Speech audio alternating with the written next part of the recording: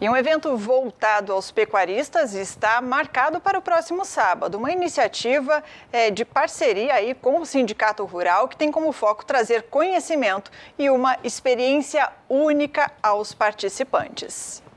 O evento vai reunir alguns dos maiores nomes da pecuária brasileira atual.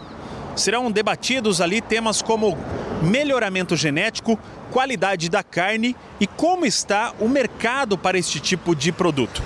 Apesar de a região oeste do Paraná não ser uma grande produtora de gado, o investimento em qualidade tem destacado os produtores regionais. Todos sabem que aqui na, na, na região oeste as áreas praticamente são todas ocupadas por agricultura.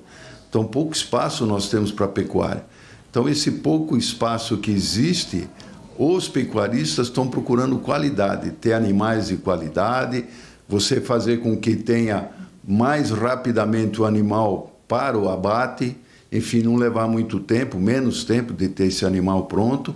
Enfim, e esse evento vai proporcionar essa oportunidade, porque nós teremos as pessoas que mais trabalham nessa questão, as mais especialistas voltado na genética, no melhoramento, qualidade de pasto, alimentação, tudo que vão poder transferir para os pecuaristas o que existe de melhor hoje para que eles possam colocar dentro da sua propriedade para produzirem esses animais. O Padrão AgroShow acontece no próximo sábado, dia 6, em Cascavel. O evento começa às 7h40 da manhã e segue até às 19 horas. Serão no total seis palestrantes.